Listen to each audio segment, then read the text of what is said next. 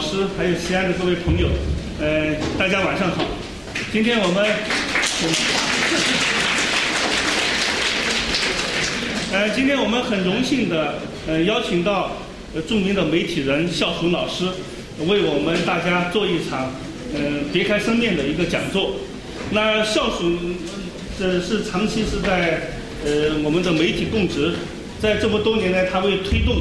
呃，中国的呃公民社会的一个建设，呃，推动我们每一个呃公民社会的理性、健康的一种发育和成长，呃，他是做了很多的一些呃工作，呃，别的我们就先不忙多介绍，我们先有请呃孝松老师给大家，我们就开始欢迎社会。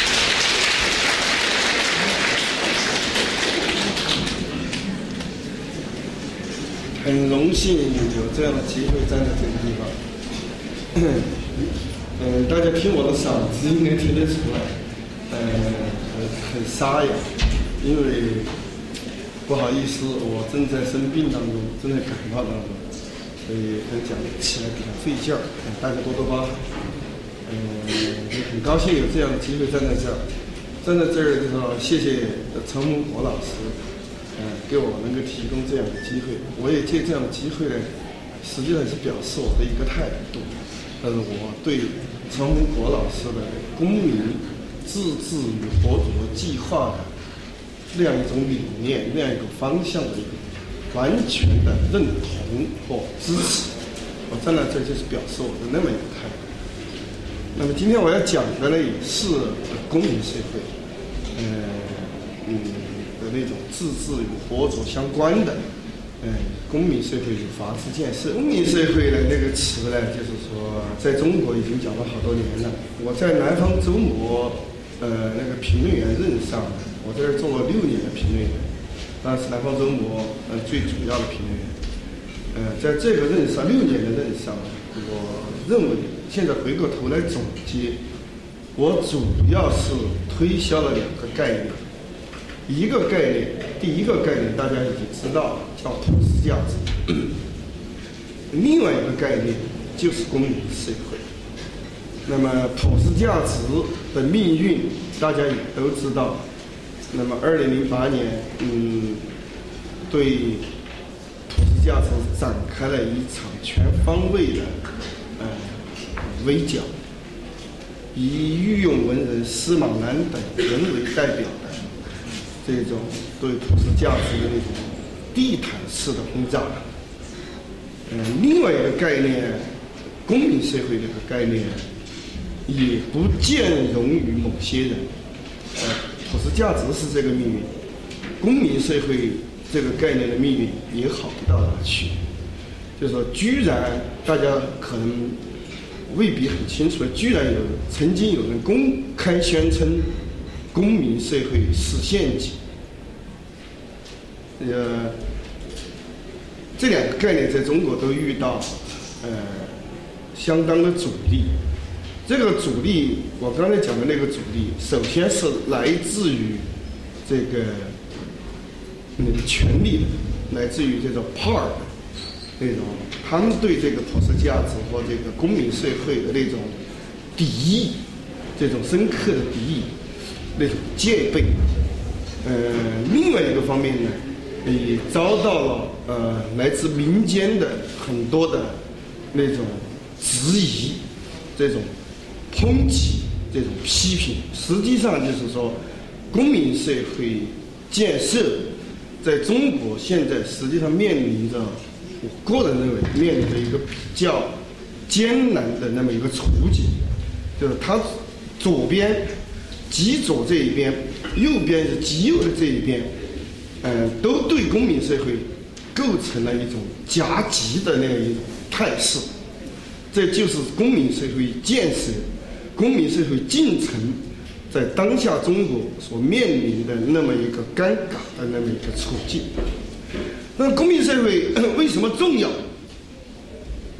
为什么就是面临这么一个尴尬的处境？但是就我个人而言，我绝不放弃我的这个信念，绝不放弃这样一种努力。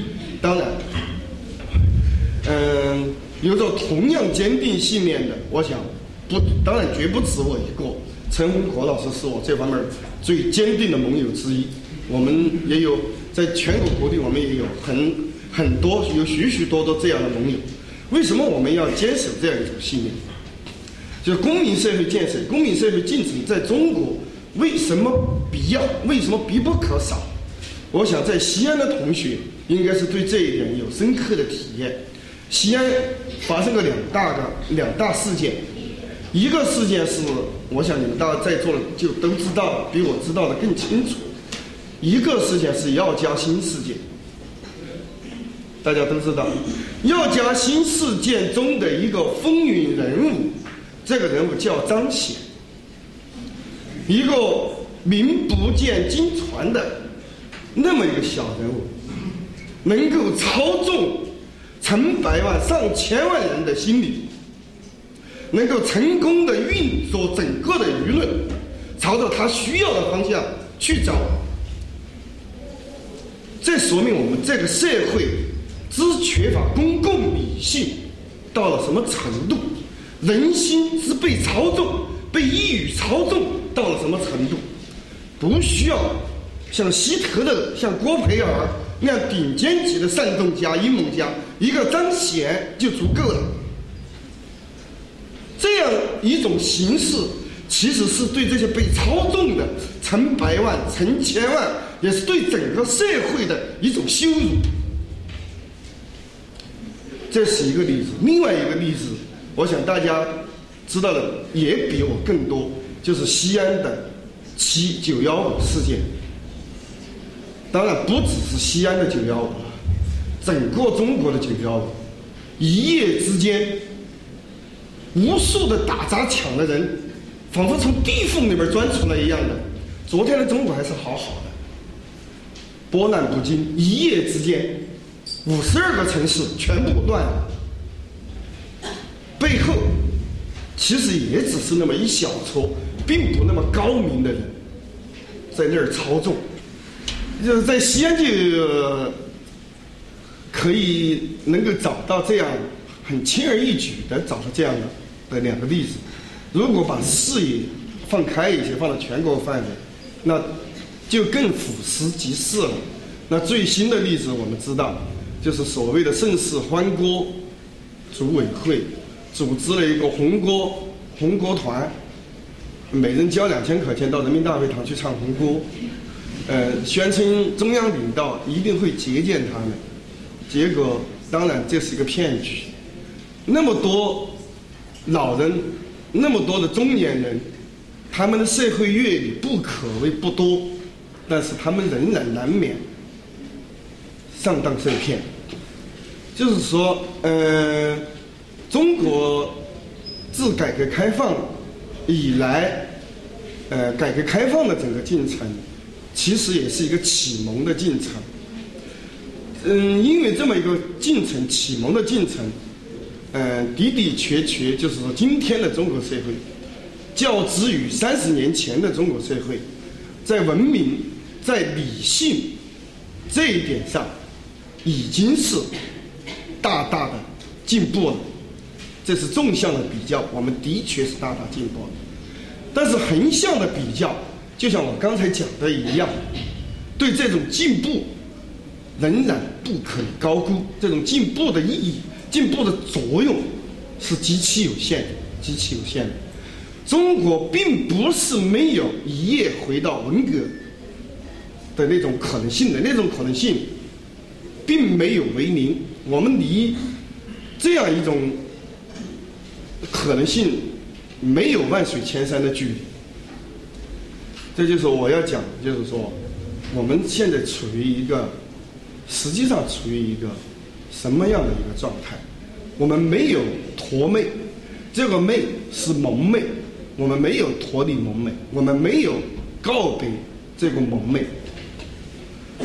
与我们现在的，我刚才说的那么一个状态，形成鲜明对照的，嗯，同样是华人社会，我们不需要把例子举得更远，去举美国的例子，去举英国的例子，同我们只需要举我们身边的华人社会的例子就够了。你比方说，同样是保钓游行，在跟深圳一河之隔的香港，我我的微博，我在新浪的微博没有被消耗之前，当时我曾经，呃，那当然我说这个话就就是说我我已经被消耗了。我当时曾经嗯发过那么一个帖子，我做了一个对比，就把香港的游行那个保钓游行跟那个深圳的保钓游行用图片。做了一个对比，那比任何的文字或语言都更有力量。这深圳那边是火光冲天，砸汽车，呃，打行人；香港那边也是保钓游行，整个是井然有序。呃，香港是这样，呃，同样属于华人社会的台湾就更是如此了。大家知道台湾有过。红三军事件，红三军的主体是台湾的中下层群众。台湾的中下层群众，按我们这边的那个规律来说，应该是理性、文明稍微欠缺的那么一个群体。但是，就是这样的群体。在整个红三军的这个抗争过程当中，表现的是极其克制、极其有序、极其文明的。嗯，在这个红三军事件过程当中，嗯，红三军内部曾经有过一场小小的争议，什么争议呢？又有人向施敏德建议。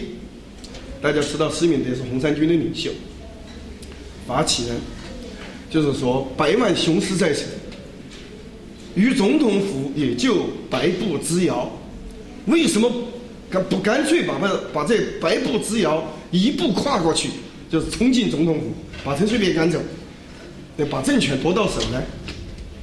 这个提议在台湾没有成为现实，施明德没有接受这个提议。施明德这一方，红三军这一方，表现了高度的克制。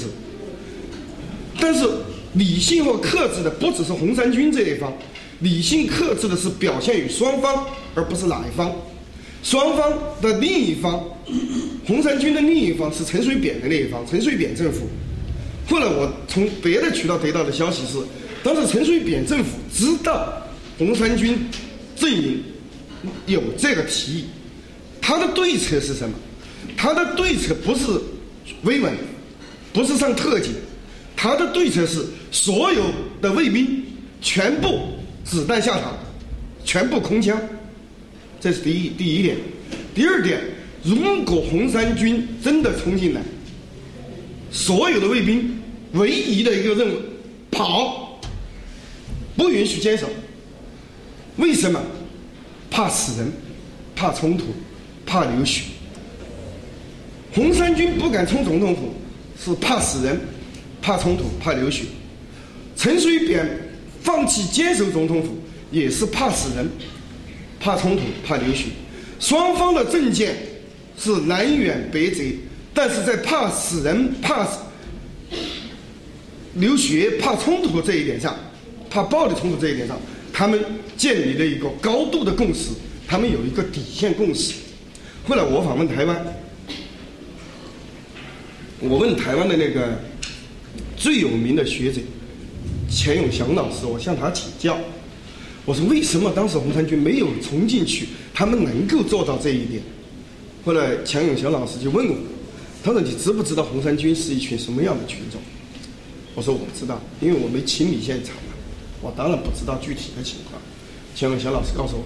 他们是一群，哪怕是在游行的时候，看见街头的红灯亮了，十字街头的红灯亮了，都会自觉的全部停下来，不再向前走一步，的那么一个理性的、克制的那么一个群体。就我刚才讲的，同样是华人社会的香港，刚才讲的是同样是华人社会的台湾，这些情况。如果放到中国大陆，是很难想象，很难想象。当然，中国大陆也有这种有序的，呃，那种克制的、理性的抗争，不是没有。你比方说厦门的 PX 抗议事件，你比方说番禺的广州番禺的反垃圾焚烧事件，你比方说大连的 PX 事件，也同样表现的理性和克制。但是，我在这儿提醒大家注意一下，在大陆表现的有有理性的、克制的这些事件，有一个共性，有一个特点，就是第一，他们都属于大城市、都市、都市抗争；第二，都是都市中的中产阶级精英的中产精英的抗争。中在中国当下，只有中产精英为主体的抗争能够做到这一点。但凡是卷入了底层民众的抗争，像红三军那样的以中下层群体为主体的那种抗争，在中国一般都伴随着那种不可控、不可测的这种巨大风险。嗯，石坊事件大家都知道是这样，呃，发生了冲突。当然，冲突的主要责任在政府，这点不用讲。另外一个大家知道的启东事件，几万群众冲进启东市政府，那么那个场景我就不用多说了，大家去看图片。这就是说，嗯，同样是华人社会，但是在文明的水准上，在理性的水准上。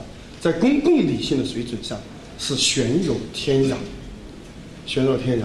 我们讲的法治，今天我们要讲的法治，法呃法治跟在座的每个同学，法治的命运跟在座的每个同学都是息息相关的。法治有前途，你们就有前途；法治没有前途，你们也就没有前途。所以法治是你们的共同的利益，最大的利益。那法治怎样才能有前途呢？我刚才讲的同样是华人社会的。这是另外一个规律。香港，大家知道，香港是一个华人社会。香港可能没有什么民主，但是香港有法治。香港的法治不是依托于民主，香港的法治有一个坚实的基础，什么基础？公民社会的基础。香港有公民社会，有一个发达的、完整的公民社会。在香港，哪怕是一个货柜车司机。他也属，他也属于很多个共同体。他有自己的货柜车，形形色色的货柜车司机的协会，会计有会计师协会，律师有律师协会。所有这些，我把它叫做公民组织。所有这些公民组织都是完全自由的，完全自治的，都是自组织的。整个香港社会，香港的社会就建立在这样的一个。公民自组织一个发达的一个丰富多彩的公民自组织的基础之上，这是香港法治的一个坚实的基础。台湾也不例外，台湾也是有法治的。今天我们我在那个西安跟西安的同仁聊天，有同仁聊到台湾马英九的一段趣闻，说有一次那个马英九坐汽车把头探出去。探出去了，被那个交警发现了，马上就罚了马英九九百万台币。这法治对总统也不例外，为什么呢？因为在台湾也是一个公民社会，法治是什么？什么叫法治？就是依法治国，这个依不是依照的依，法律是最高的规矩，所有的权利，所有的力量。法律说到底，就是无非两个字：规矩。规矩对所有人都是适用的，没有任何一个人能够超脱于规矩的制约之上。所有的人，所有的力量都必须接受这个规矩的制约，这就叫法治。那么，什么叫公民社会？公民社会也就是一个说到底，一个有规矩的社会。一个规矩至上的社会，所以在这一点上，法法治社会跟公民社会两个概念其实是二位一体的两种社会形态的比较，同样是华人社会，但它分属于两个呃不同形态的社会。嗯，那两种不同的形态，说根本说到根本，就是一个有公共理性的社会形态，或一个没有公共理性的社会形态。法律就是公共理性的最高表现。所以，一个公共理性充分发达的社会，必然是一个法治的社会。呃，但是公共理性要能够充分发育，它必须建立于一个条件，必须要有一个条件。这个条件是，这个社会必须有充分发达的公共生活、公民生活。公共理性不是天生的。我们老是有人说，中国的国情决定了中国不能搞民主，不能搞三权分离。呃，中国的那个中国人的素质决定了中国不能搞民主，不能搞三权分离，当然也不能搞公民社会。素质这个概念是个伪概念。为什么说素质这个概念是伪概念呢？因为素质它包含了先天的意味在内。只要包含了先天的意味在内，那么素质这个概念天生它就注定了是一个带有歧视意味的那么一个概念。用素质来否定那个民主的可行性、公民社会的可行性，这当然是对人的一种歧视，进而是一种侮辱。它本质上是一种种族主义，是不可接受的。但是如果我们跳出这个先天，决定论的这么一个范畴，如果我们把素质这个概念转化一下，转化为为一种素养，转化为一种技能，转化为一种经验，那么显然，就说我我刚才讲的公共理性，我刚才讲的民主的生活、民主的制度，包括三权分立、包括公民社会在内。它的确是需要相当的素养、相当的技能、相当的经验来支撑的，而素养、经验、技能，通通来自于什么呢？通通来自于后天的训练，来自于后天的日常的生活。你过什么样的生活，你有什么样的生活方式。你就积累了什么样的人生技能和人生经验，就积累了什么样的素养。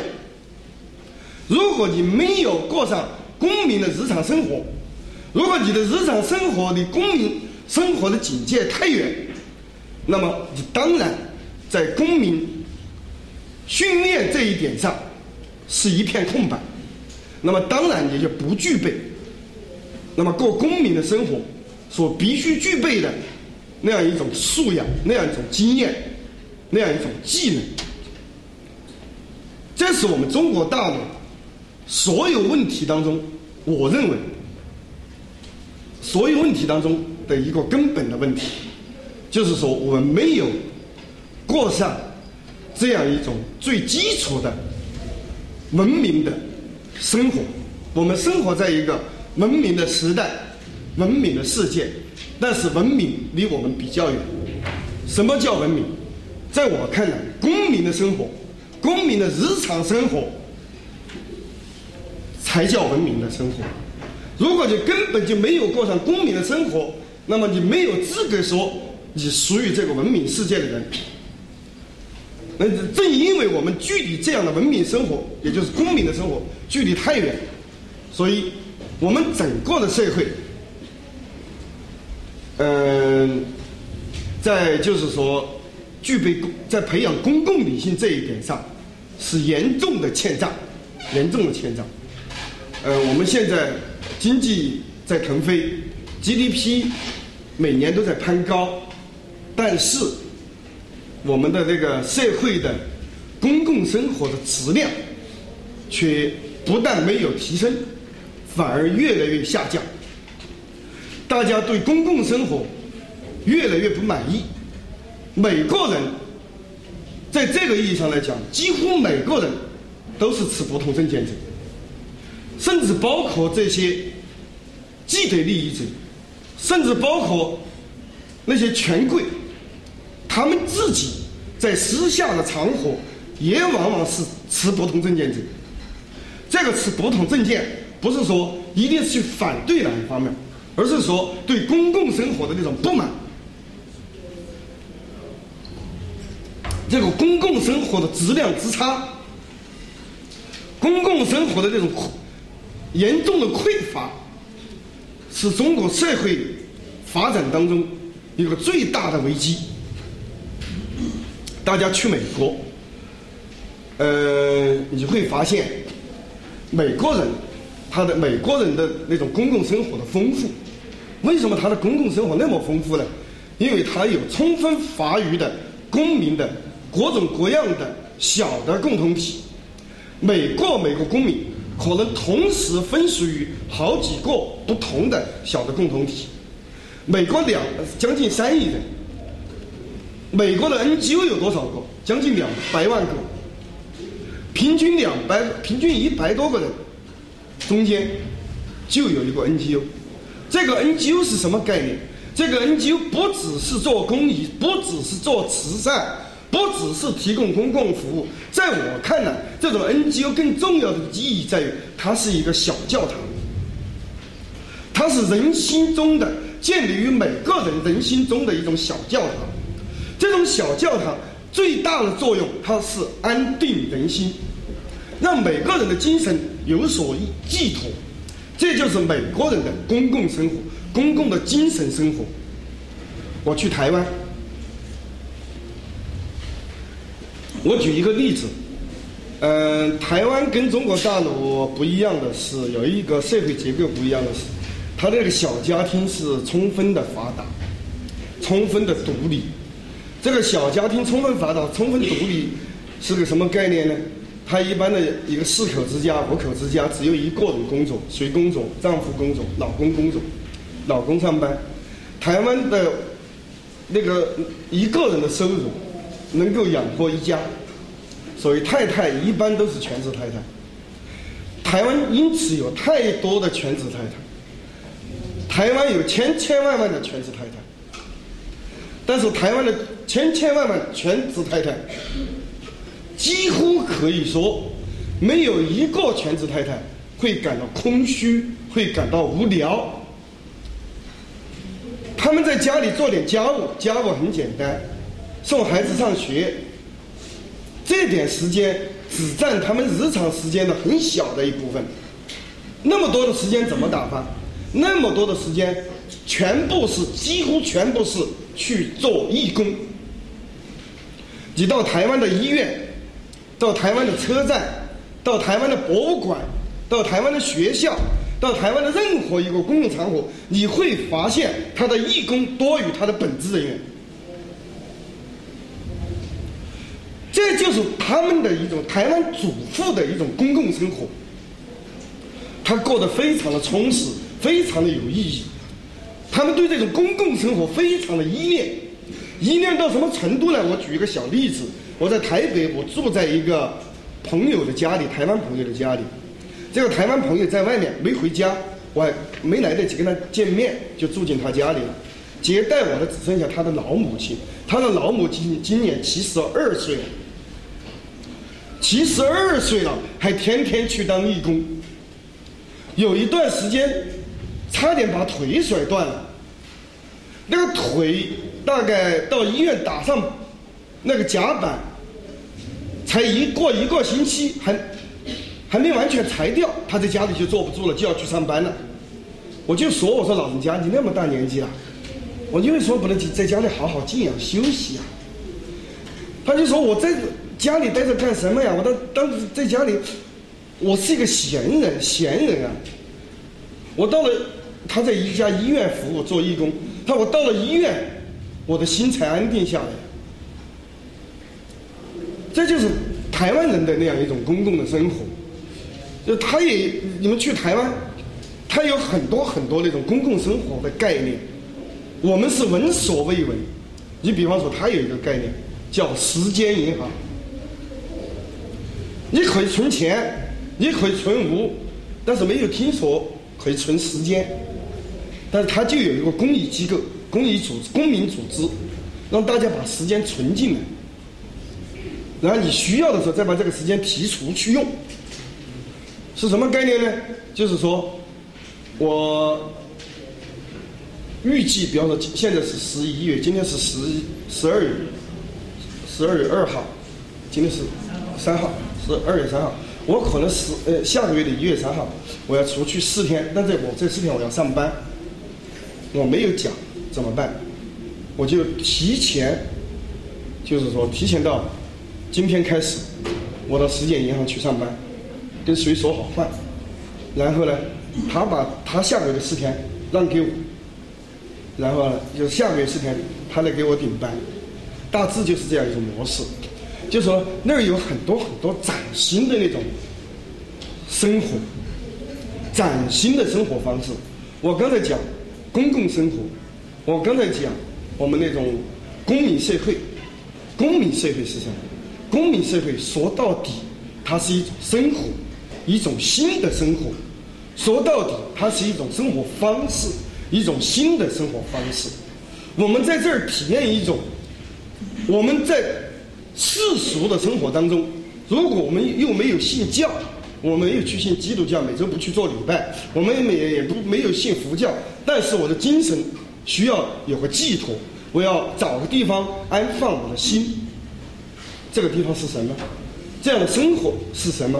这就是公民社会，这就是公民组织。这样的生活方式，在任何一个文明社会、任何一个发达社会，都是充分发育、充分发达的、丰富多彩的。每个人都有一个广阔的选择的空间，绝对不会像我们大陆公共生活贫乏到什么程度，要么就忙得要死。要么呢就闲得要死，闲得要死怎么打发呢？全国一律普遍的搓麻将。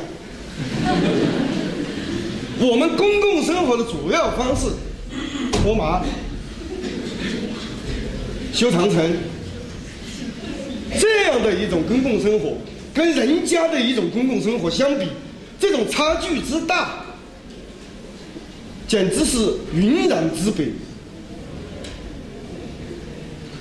就是说，然后这种，在这样一种低下的、低品质的公共生活当中，你能指望他去生长出一种从搓麻当中、从修长城当中来寄托自己的精神、寄托自己的人文关怀，来成长着一种善、一种爱，能够把整个把自己跟整个社会联系起来？能够想象吗？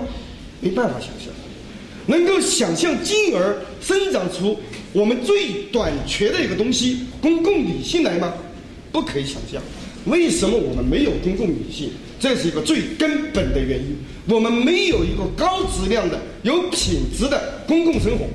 我们缺乏一个高质量的、有品质的公共公共生活的一个最重要的原因，是我们没有公民社会。甚至公民社会在我们这儿成了敏感词，成了陷阱，成了要当做一个假想敌，当做一个潜在的敌人去防范的对象。公民社会是什么？我刚才讲的公民社会，就意味着公共理性，就意味着爱，意味着善。你去把爱和善当陷阱，你去把公共理性当陷阱。如果说你说是政权需要的话，你这不是在妖魔化这个政权吗？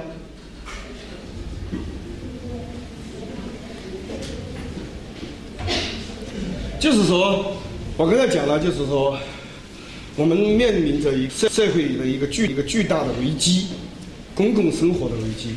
这个公共生活的危机，根本上说，其实是我们这个社会的精神危机。这种危机从根本上说是一种精神危机，公共精神的、公共理性的欠缺，公共理性的那种不发展、不发达。本质上是一种精神不健康。我们这个社会在精神上是一个不健康的社会，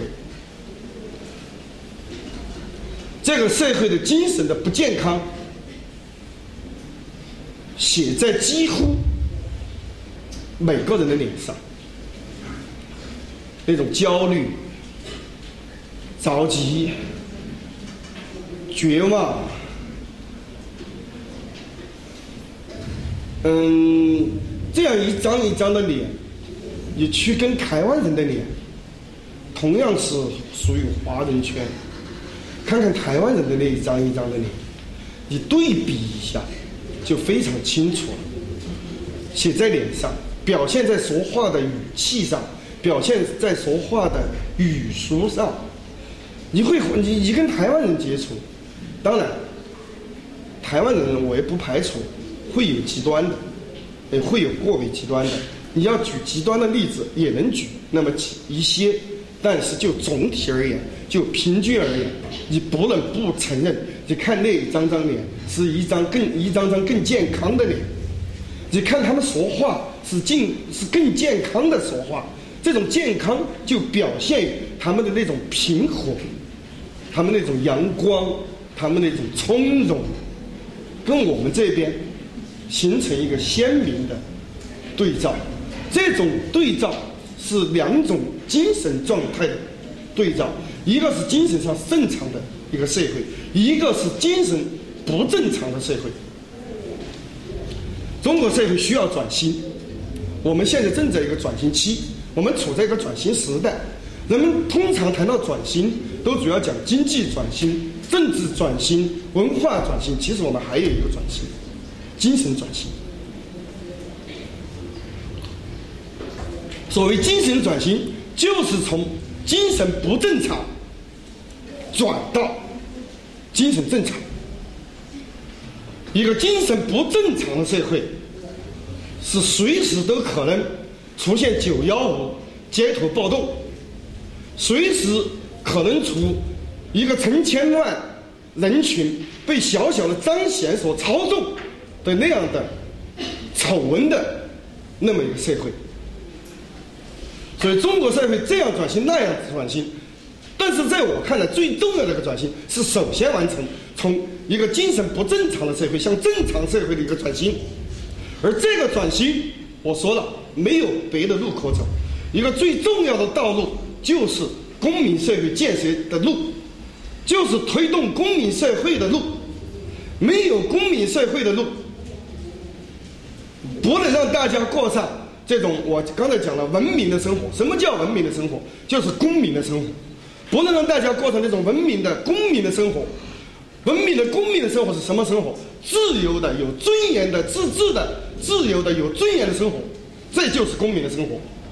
如果不能过上这样的生活，中国就永远不可能回到一个精神上正常的社会。十三亿人。一个巨大的力量，这样一个巨大的力量被一个精神不正常的状态所操纵，会是一个多么危险的力量。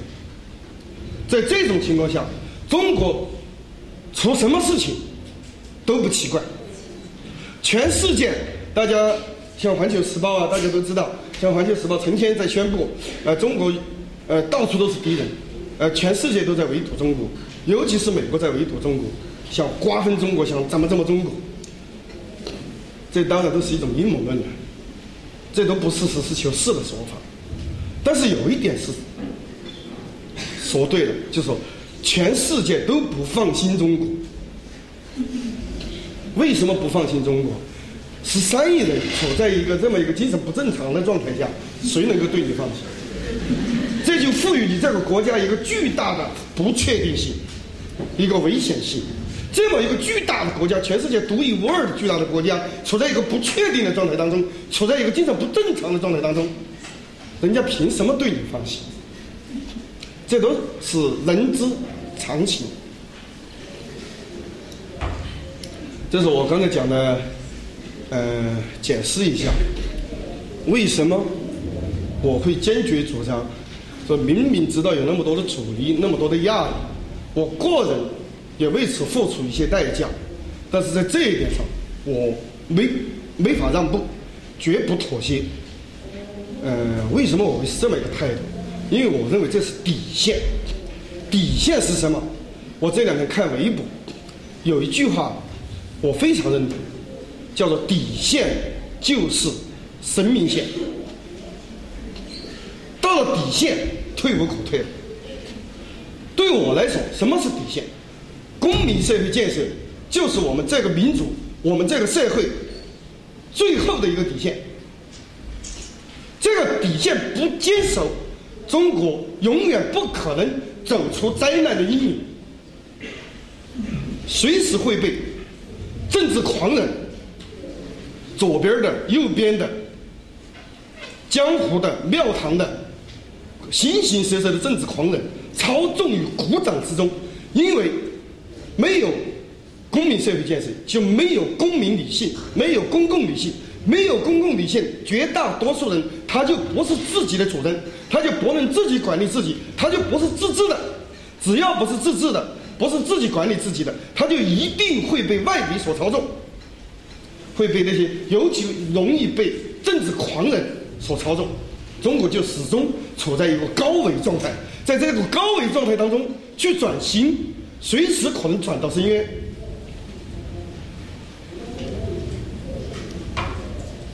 回过头来，我还是想再说到台湾，在目前为止，世界范围内的所有转型进程当中，我最欣赏的转型模式是台湾模式。嗯，大家可能都已经知道，我们现在新上台的领导人。他们所推崇的模式，主要是什么模式？有没有同学知道？是新加坡啊，新加坡模式。但是我不认可这个选项。为什么说？因为在我的眼里，新加坡模式主要是一个治理模式，而不是一个转型模式。中国现在最需要的不是治理模式。中国现在最需要的是转型模式，因为中国头号问题、压倒一切的问题是转型。只有当转型完成之后，你才谈得上什么治理模式。转型模式之后才是治理模式。第一位的问题是转型问题，治理是第二位的问题。我们现在转型都没解决，谈什么治理模式？而新加坡模式在转型上。对我们是毫无启示意义的，因为新加坡本身也面临一个转型问题，它的转型都还没开始呢。你向他学什么？在我看来，可学的，我个人认为可学的最重要的模式就是台湾模式。在我个人看来，我们未来的转型只有两个可能：要么是台湾模式，要么是图利斯模式。你要避免图里斯模式，你要想不在中国发生图里斯发生过的那样的动荡，别无选择，你只有走台湾模式。但是，台湾模式对中国大陆来讲，的确也是太难，太难，要复制台湾模式，几乎是没有可能。因为台湾模式在很大程度上也是特殊的，为什么说是特殊的呢？因为很简单，别的例子不讲，别的故事我就不讲，时间不不允许展开。台湾当蒋经国决定转型的时候，蒋经国所面对的那种权贵，面对的这种特殊利益集团，面对的这种政治上的大家族，最多不会超过五个。大陆现在是多少？大陆从中央到地方到，从中央到省到市到县又是多少个？这根本就不是一个数量级。就算是大陆，大家都在有很多人在呼唤蒋经国，期待就是国民党能出一个蒋经国，共产党能不能出一个蒋经国？但是在我来说，出一个蒋经国又怎么样？台湾的蒋经国只需要面对不到五个家族，中国大陆如果出一个蒋经国，要面对的不止五百个家族。这是第一点。第二点，台湾模式也不是完全靠蒋经国啊。台湾模式除了蒋经国的作用，更重要的作用是多少年的党外运动，多少年的社会运动，以及当时突然变化的国际局势的压力。就是说，台湾能够转型成功，有在我看来至少三大因素。第一个因素，统治集团内部的分化，也就蒋经国的那种清醒或决断。第二个还有，第二个，多少年的党外运动，尤其是八零年代崛起的社会运动。第三个，国际形势的变化。三大。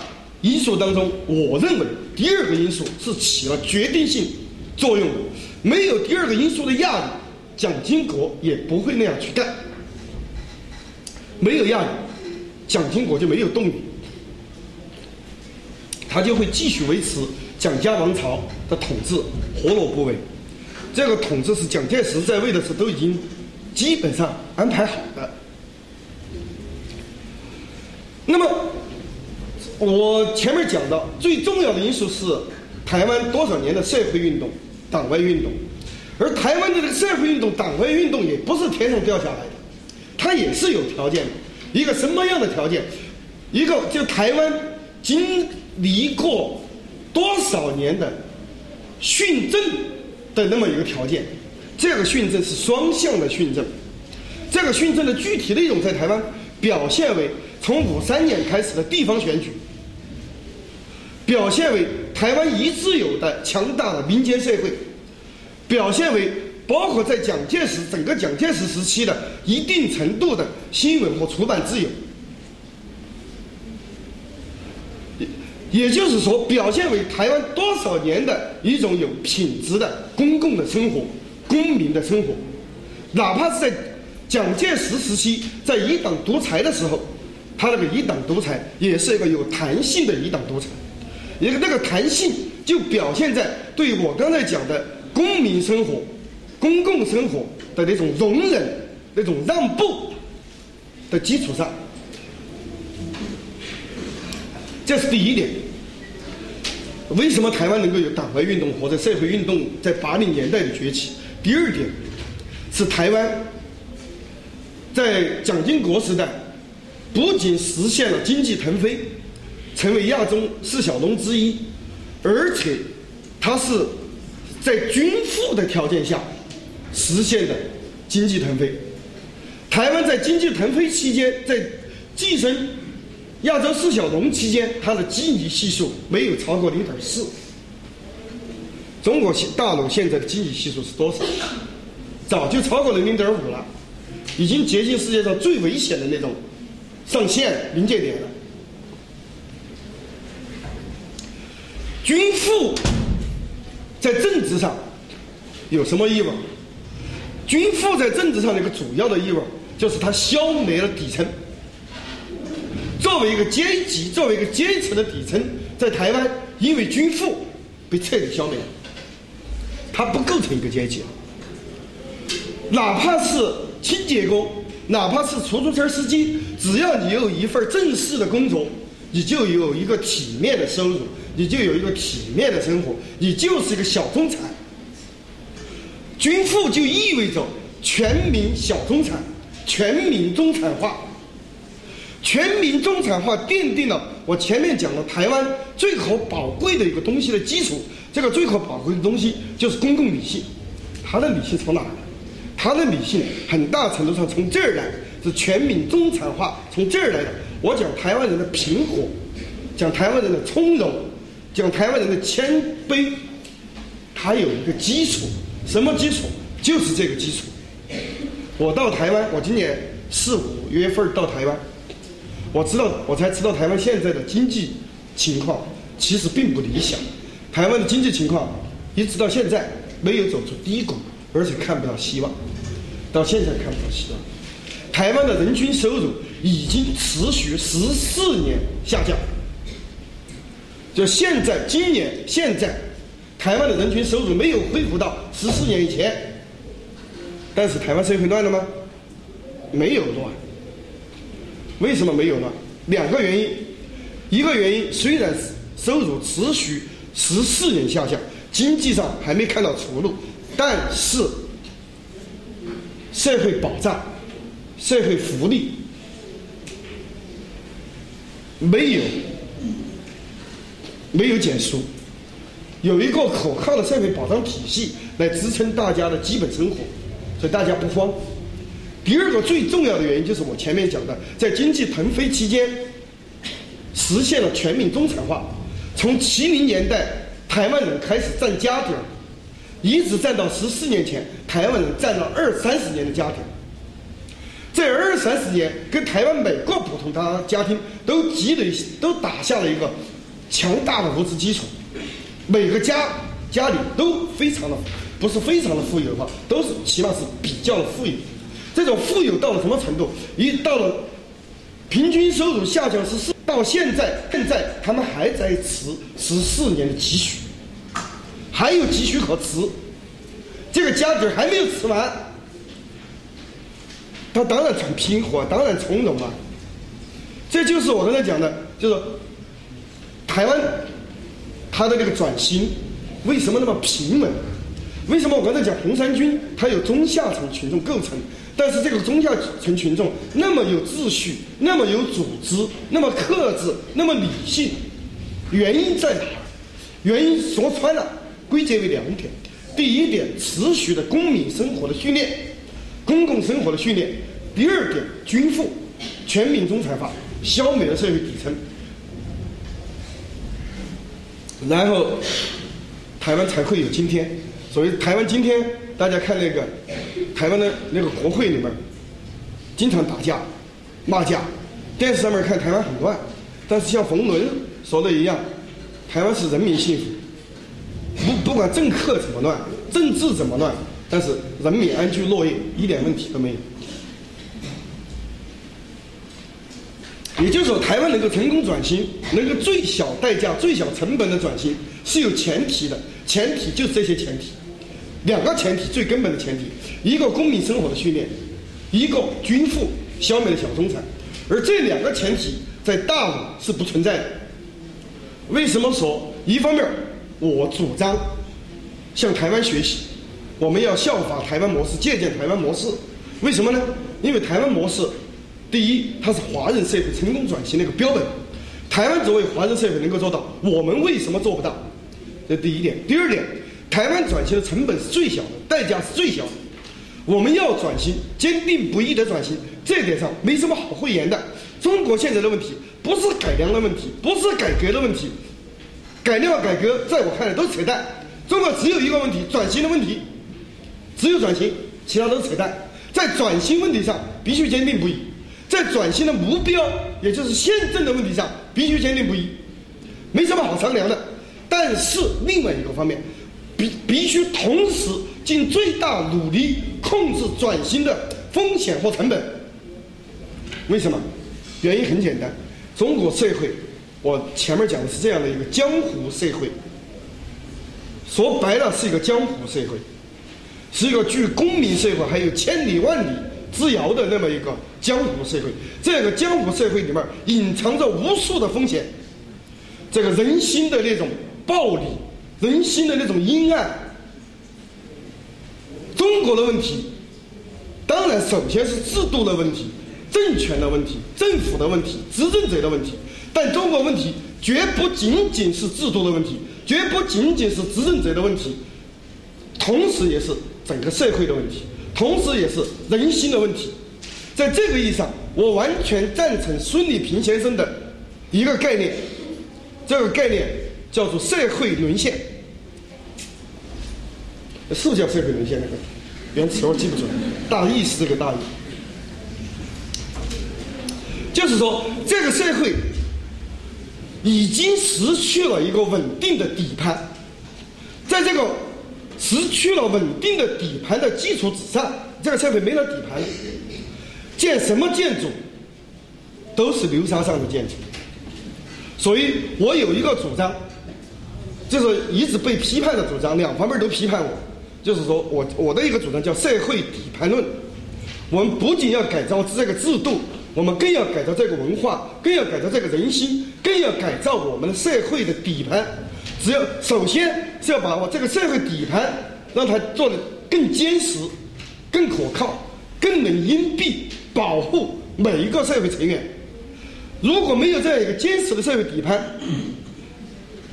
我们不去控制这个转型的风险，不去控制这个转型的成本，以我们现在公共生活的质量，以我们现在社会的品质，中国一旦发生大的动荡，我想那会比九幺五事件那就严重不知多少倍。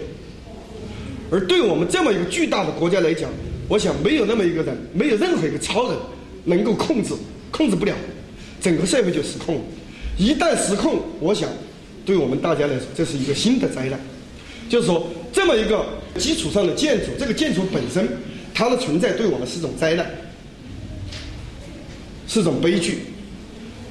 但是，如果我们没有坚实的社会底盘的话，那么将来你建新的建筑，你没办法建的，因为你拆除这个建筑，这个建筑原来这个建筑倒下本身也可能是个灾难。也可能倒是悲剧，它的存在是悲剧，它的倒下也是悲剧。这是对中国社会我认为一个最大的危险。大家现在可能都意识到它的存在是个悲剧，是一场灾难，这个没问题，我完全承认。但是可能只有很少的人认识到它的倒下其实也是个悲剧，其实也是个灾难。那么，那怎么解决这个两难问题？这是个两难，它存在本身是灾难，因此它没有理由再像原来这样存在下去了。再像原来这样存在下去，对所有人来讲都是悲剧。那么，但是你又它倒下也是悲剧，怎么办？他现在就用这个理由来威胁大家：你让我不存在，不存在中国就乱了，不存在你们每个人都完蛋了，就用这个来恐吓大家，让你们不要让我倒下，你们让我存在了。你们让我千秋万代了，这当然是荒诞的，但是这的确是个两难的问题。怎么解决两难问题？公民社会就是为了解决这个两难的问题。没有公民社会的那么一个建设的进程，这个两难问题，我认为永远不可能解决。迟早玩什么都是悲剧。只有当我们把公民社会进程加速到一定程度之后，当我们相当多数的人都提升成为自觉的、自治的公民之后，这个两难问题，我想就迎刃而解了。这就是我主张公民社会建设的另外一个理由。当然，会有很多朋友，我也受了很多朋友的批评。一个最重要的批评是：公民社会是可能的吗？当然，就是说，你要用那种西方经典的发达国家经典的标本。那种那种标准的公民社会来丈量当下中国的公民社会，在中国的确找不到公民社会。但是公民社会它是的发展，我说它不是一个不我们所所所说的公民社会不是一个终点意义上的，而是起点意义上的，而是一个过程，而是一个动态的过程，而是一个发展的一个过程。我们现在的公民社会，我讲的是一个建设中的，是一个推进中的一个公民社会。是一个成长中的公民社会，这样的一个公民社会在现实当中不能说完全没有空间，到处都是空间。这个空间存在于每一个愿意向善、愿意心中有爱、愿意向着阳光成长的每一个公民的心中。我在争取做一个公民，陈文国老师争取做一个公民。我觉得像我和陈文国老师一起在座，还有其他许多许多的老师。也今天都都在做。我们我来到西安，我就被他们那么一个小共同体所包围。这个小共同体是什么？这个小共同体就是一个浓浓缩的一个猥琐的公民社会。它本身就是一个公民社会的一个雏形。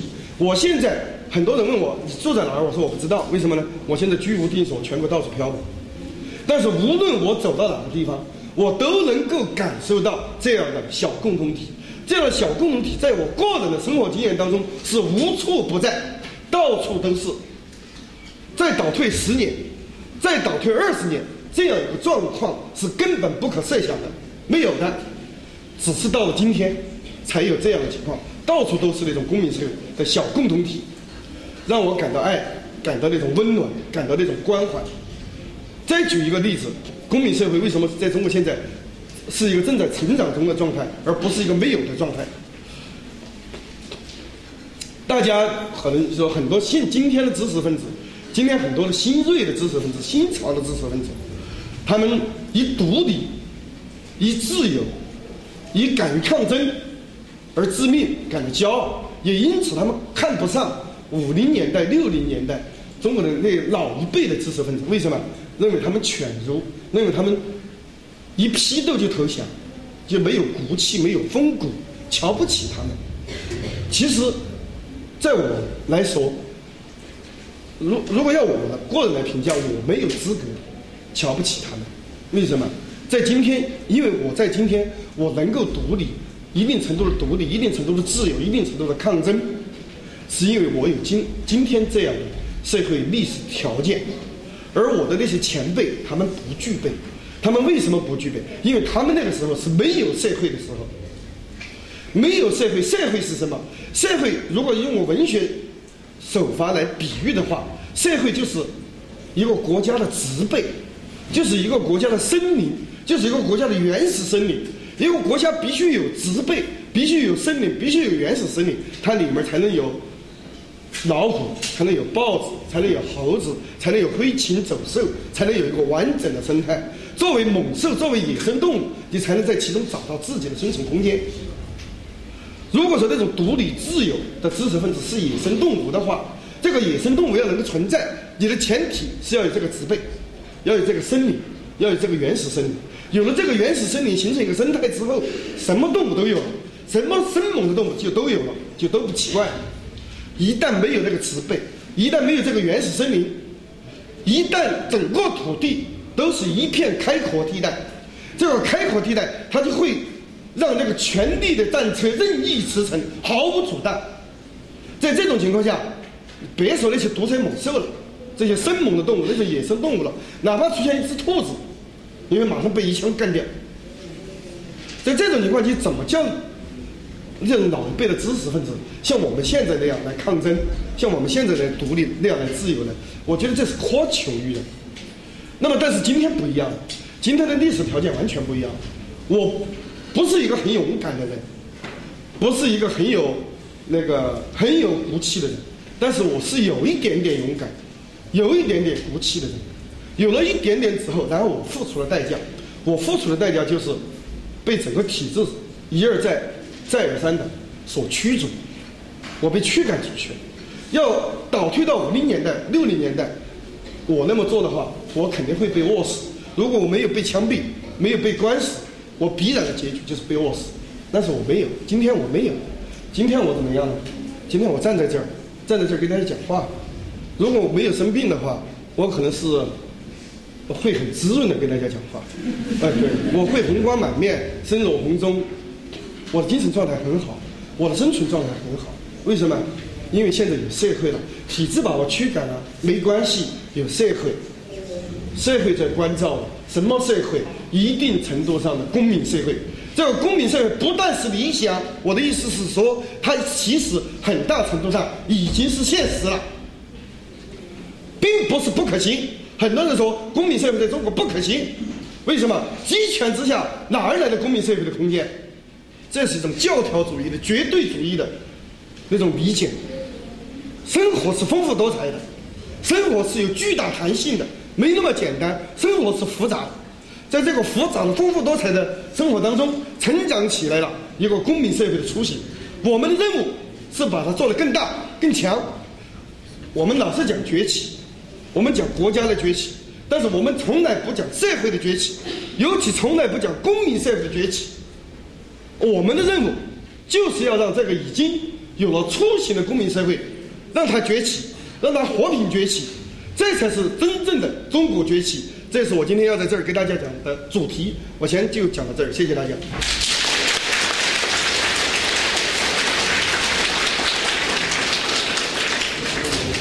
没事，我我先简单的呃总结几句，然后我们呃有更多的互动交流。呃，其实我也感觉我今天状态特别不好，因为我和孝书老师一样，我也生病了，呃，所以感觉也是，其实有心里面有好多话要说，呃，但是呃，幸好刚才孝书老师的这这一番呃平和理性的，呃，而且是一个非常健康的，我认为也是具有相当的学术化的一番讲座，呃，我觉得也激起了我的呃表达的一种。呃，这个呃欲望，那我这样的表达还是和我们共同的一个关注，呃，其实是呃一致的，那就是什么是公民，呃，什么是公民社会，什么是所谓的自治，呃和合作。我想我们今天呃在走向一个国家它的一种所谓的美好社会，呃尊严政治或者责任政治，呃这样的一种过程当中，呃我们的中国需要一番。观念上的一种转型，而这种转型一定是超过了我们几千年来那样的一种循环的轮回的呃一种模式。那就是当我们经历了一个循环和革命，就是 revolution，好像是一个转圈圈一样的一个东西以后，我们会发现，也许我们建立起来的一个呃新的社会，它和以前的社会好像并没有质的区别。那今天我们在观念上的一个转型，我觉得最为重要的一点。呃，那就是所谓大家惯常说的人心的改造，而人心的改造，我是不愿意用一种道德化的或者泛道德化的一个东西来进行一个评判的。我们经常在呃，就是由于缺乏这样的一个基本的公共生活，我发现我们在评价一个人的生活的过程当中，我们往往有两种趋势：一种是泛道德化的一个评判，要么他是一个很高尚的人，像雷锋一样的。要么他是一个很卑鄙的人，很卑贱的人，是吧？那于是我们处于这两种极端。嗯，另外一种方式，我们是有一种泛政治化的一种评价方式，就是刚才校书老师也说的，就是我们不能够阳光的、公开的、坦荡的、很理性的进行商谈和交流，来表达自己的一种诚意。那这时候你会发现，这样的一种泛政治化模式，可能就会落实到一个实践当中，可能是一种阴谋论，是吧？那因此，我们在建立一个公共社公民社会的过程当中，我觉得我们要来两个转换，一个是从一种呃要承认公民他本身是一个独立的个体，但是这种个体它不是一个原子一个个体，它是一种自由的个体。那原子化的个体就是我们所说的所谓的呃自私自利的，呃没有任何公共关怀的，对于公共的事务和责任能力是一种非常冷漠的极端的态度。那么从自我的一个利益出发，可能最终会导致孝书老师刚才举的一些例子，比如说九幺五，比如说药家鑫案件事后的一种民情生态的一种反应。那么因此，我认为我们要从一种原子化的个体走向一种自由化的一个个体。另外一个层面，我觉得我们在构建公民社会的过程当中，与我自身的经历密切相关的，就是我们往往有一种组织化的恐惧。那刚才孝书老师也强调，就公民社会要构建一种小共同体，其实它的一种组织化的健全是非常之重要的。呃，托克维尔也曾经说过，支撑美国这个社会高度成熟的基础就是民情和法治，而民情的一个核心，当然就是按托克维尔的一个说法，就是公民的一种自治和合作的一个能力。这个能力主要是体现在托克维尔所说的乡镇自治、行业自治。这样的一种精神，他说这是公民教育的一个母亲最好的一个学校，但是在中国，我们长期以来缺乏这样的一种公民生活的一个训练，我们今天就导致了一种泛组织化的一种恐惧，就是好像你要成立一个什么 NGO，或者你要个做什么事情，他就认为可能你是想要阻挡或者要干什么，就是组织、自组织和组建 party 党派，其实它完全是一个不同的一个概念。但是我们经常就会把这样的一些概念给它呃混淆了。那这样一个混淆的一个结果，其实就是萎缩了或者压制、窒息了呃公民的一种自我的一种能力的一种生长。那这样最终的一个结果，我认为当然是一个呃非常可悲的一种忧虑的一种前景。那从刚才孝书老师的一个呃这个这个叙述当中，我觉得我我是收获特别大。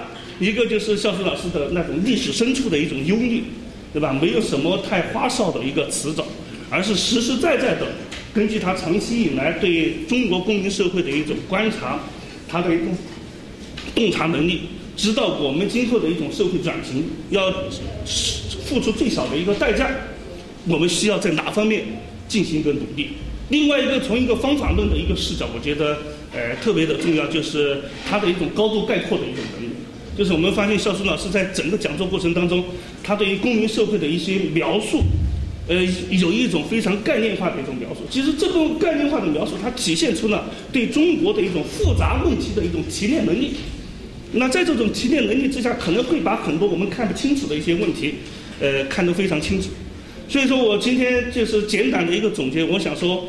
呃，我们都是在座的，我们大部分都是学习呃法律的学生。如果我们作为一个学习法律的呃学生，我们今后都缺乏基本的一种公民的一种教育的一种训练，那我想这个社会它的一种公共的生活呃可能会呈现一种呃更悲观的一个状态。因此，我是呃期盼通过这么一场讲座。呃，都能够让我们大家能够受到教育，然后能够把这样的一种观念转化为我们日常的行动当中。还是那句话，公民的一种成长，呃，自由的争取都是要靠自身的努力的。而这样的一个努力，其实是代价最小的方式，而且是呃，他付出的一个代价远远比我们想象的要少得多。而他所实现的那样的一种美好的愿景、美好的前景，会大大的。超过我们的预期。好，谢谢。我的总结就简单一点。呃，下面我们是呃，我我也认为是更精彩的一个交流的一个时间吧。呃，我们呃还是交给肖顺老师。呃，有提问的大胆的提问，还是老规矩，越尖锐。